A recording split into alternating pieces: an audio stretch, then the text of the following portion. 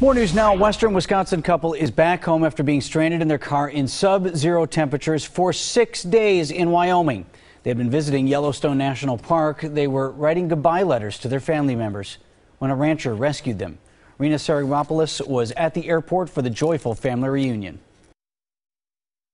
I am very excited. I'm just butterflies in my stomach, and it's just, oh, I just I can't help him how excited I am right now. You'll forgive the Webb family for being a little on edge.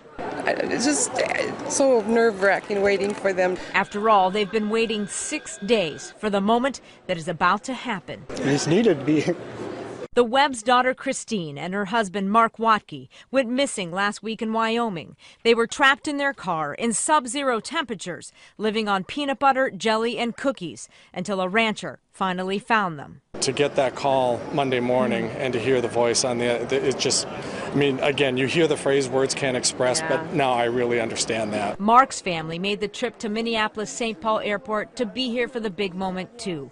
All that waiting and praying is about to pay off. You're okay. No, I'm not. You're okay. I, am home. I'm safe. I'd be happy to see that face. the Wathkes have been through a lot in the last six days.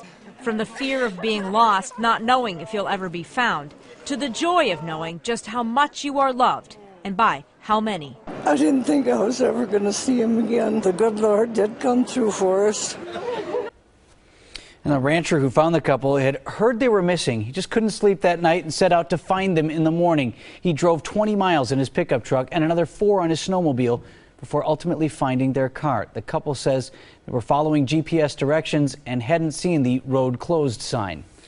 Well, you just said that had to be scary. It's got to be. I mean, just you don't know if you're ever going to be found. Right. At what point do you really start getting worried? You know, a couple hours in, a right. couple days in.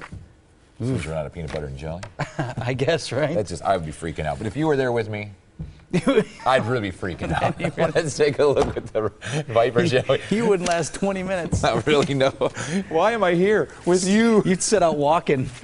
Forget it, man. See you, buddy. the rain showers from